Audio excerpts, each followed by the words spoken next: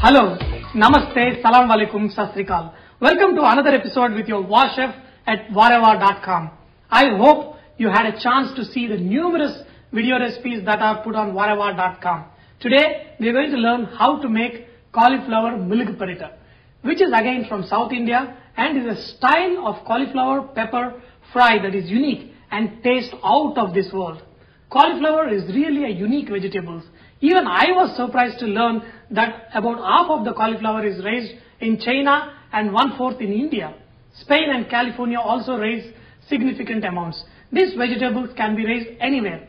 But the way it tastes after it is cooked, this South Indian milagu peratu beats anything else.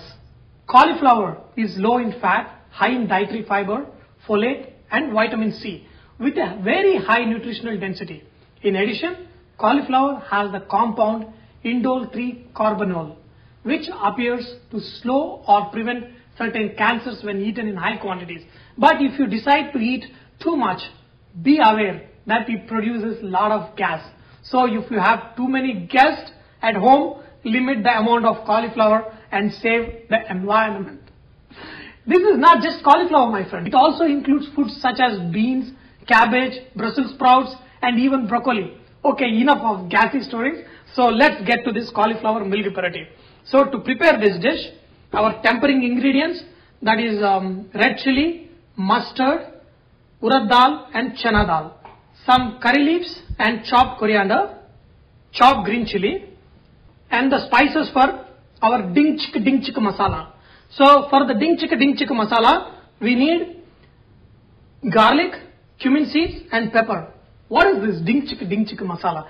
I was reading that nowadays everybody is patenting everything. So I thought why not I patent something? So I decided I will patent this garlic, cumin seeds and peppers. So from now on, whenever we use garlic, cumin seeds and peppers crushed and we use it like we have used in lamb fry or mushroom fry in many of the dishes we're going to use this.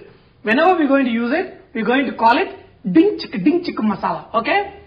And lastly, I steam some cauliflower. I just uh, half boil them. If you're going to cut even more smaller, you don't even need to uh, boil them. So I just uh, steamed it a little bit so I can cook this really fast. To prepare this dish, add this oil. We're going to add red chili and then add mustard seeds. Once your mustard seeds crackle, add chana dal. After your chana dal is slightly colored, little bit cooked, add urad dal. So these are our tempering ingredients. So add uh, our ding chicka ding chicka ingredients. Our tempering is ready. So what we're going to do now, we're going to add little bit of hing and then take a little bit of uh, ding chicka ding masala, add it. Okay? Ah, what a flavor. The ding chicka ding flavor. Wow, this is beautiful. Okay? And as soon as you add it, don't cook it too much. Okay, just very little bit. Add your chopped onion. Add your curry leaves. Add your chopped chilies. Okay, and then toss it. You know, the best thing is use butter to make this dish instead of oil or deshi ghee, even more better. So, now add a little bit of salt. Okay, remember one thing. See, in this dish, you don't want your onions to cook too much. You just want them to remain little bit crunchy. Mix up with your spices and then you are ready to go. So, lastly, add cauliflower and then toss it up. What flavor! Aha! Look at this beautiful cauliflower, nice pepper flavor. Your cauliflower milagu peratu is ready. Ha!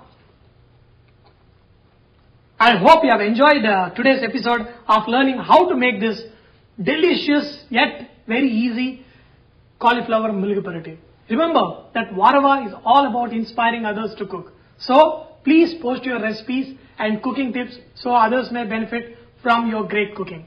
Thank you. What masala? Ding chick ding chick masala.